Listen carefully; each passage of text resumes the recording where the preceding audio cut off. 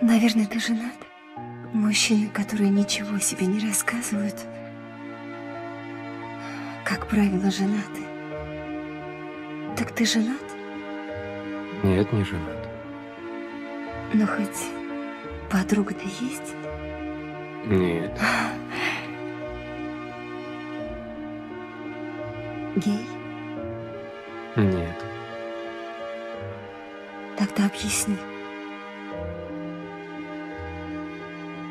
Как получилось, что такой привлекательный, умный, обаятельно робкий и одновременно сильный мужчина настолько одинок?